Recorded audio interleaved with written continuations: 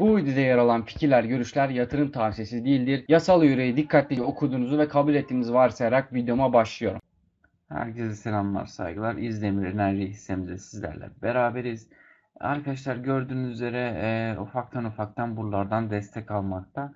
E, bununla beraber arkadaşlar bakacağımız tekrardan desteklenen noktalarını sizlere tekrarlayacağım.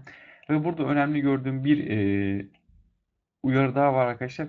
Bunu çok dikkatli bakın. MACD'nin e, sıfırın üzerine geçip şurada da bir kırılım yaşadığını unutmayalım arkadaşlar. Bu önemli bir sinyal.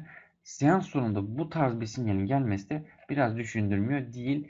E, ve SAS sinyal indikatörünün de zaten burada çalıştığını görmekteyiz. Ufaktan ufaktan aşağılara doğru gelmiş.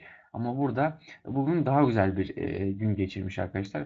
Direnç çalışması var. Ama tekrardan gözünü desteğe doğru e, çevirmiş. Desteğe baktığımızda 51.55'ten ve 50.45'ten önemli bir destek.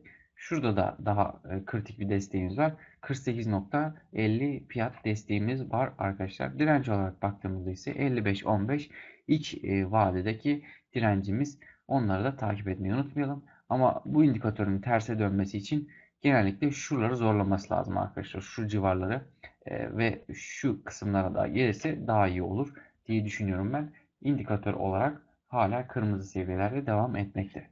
Videoyu beğenmeyi, kanala abone olmayı unutmayın. Hoşçakalın.